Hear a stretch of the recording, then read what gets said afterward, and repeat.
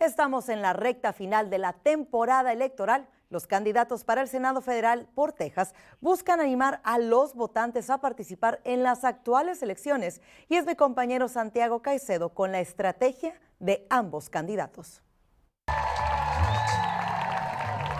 Esta noche, los candidatos para el Senado representando a Texas en Washington, D.C., el actual senador republicano Ted Cruz y el demócrata Colin Allred, continúan su recorrido por el estado. Según este profesor en ciencia política, la estrategia actual no es conseguir nuevos simpatizantes, sino motivar a los que faltan por votar. A esta altura del partido ya casi no hay indecisos entre Cruz y Allred, pero sí hay indecisos entre votar o no votar. Esta noche, el actual congresista demócrata Colin Allred estuvo de visita en el Valle, haciendo campaña en la ciudad de Álamo. Estamos cansados de candidatos que les preocupa más ganar una reelección, dijo Allred.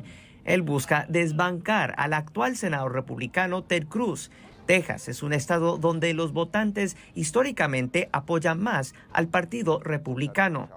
En entrevista exclusiva con Noticias RGB, Colin Allred nos dijo que su enfoque será unir a los votantes bajo la propuesta de restaurar el acceso al aborto a nivel nacional y una reforma migratoria.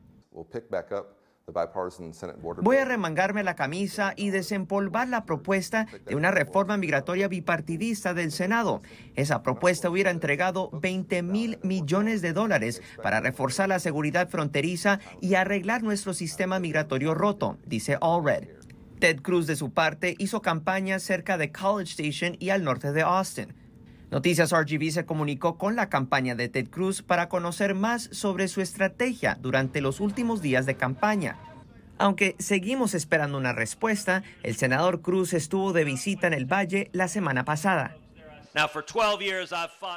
El senador Cruz le explicó a sus simpatizantes que por 12 años él luchó por el empleo y bajos impuestos, trabajando a la mano con el expresidente Trump en el 2017 para reducir los impuestos. La votación anticipada finaliza el viernes. El día de las elecciones es el martes 5 de noviembre.